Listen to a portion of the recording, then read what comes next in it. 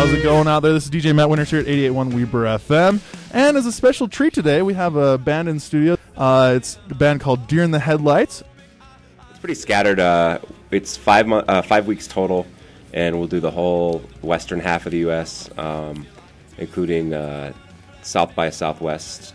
Be there for a few days. We did um, Noise Pop Festival in San Francisco, which happened last week, and then uh, we'll finish out and do a leg uh, with as tall as lions out in Florida, and finish in Atlanta and drive all the way home to Arizona. It's cool to take bands from home.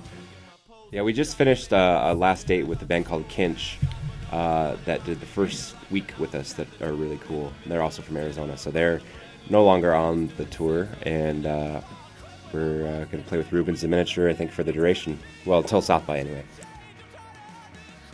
It was a pretty modest experience because we were we were just such a new band. I remember one one show, Ian and I played an acoustic set, and the only person watching was Mark.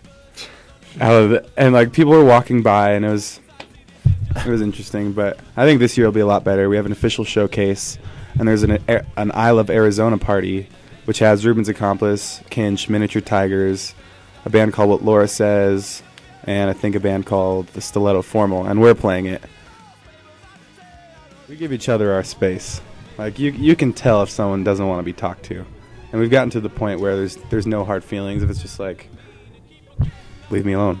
it's, you're not gonna be like, wonder if they're mad at me. Like, Yeah. it's we're just friends, and we understand that we're in a eight by fifteen foot space, and five people living there. It does tend to get a bit annoying.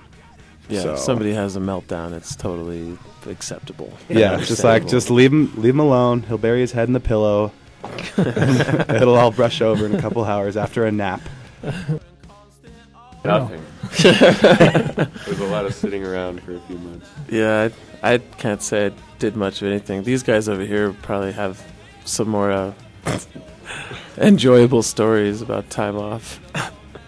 Nature hikes. Yeah, uh. I've started uh, hiking a lot and going on bike rides and really, really enjoying the uh, the Arizona desert winter and um, spending a lot of time cleaning up after my roommates and and washing the smelly dog that I live with.